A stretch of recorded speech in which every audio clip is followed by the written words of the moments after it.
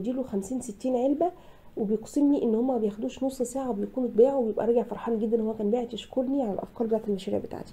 هي مش كانت علب من دي كانت كانت حاجات أغلى من كده شوية. بالرغم إن هما في منطقة ريفية الا ان هما قال لي بيتباعوا في نص ساعة بالظبط وهو ابنه بيرجع فرحان ومبسوط هو كان باعت يشكرني وأنا سعدت جدا بالرسالة دي وكان نفسي أوريها لكم بس هي كانت voice مش كانت رسالة مكتوبة. كان نفسي اخد لكم screen كده وأشيل الاسم وأنزلها. هنا الحاجات دي أنا عملتها عشان نوزعها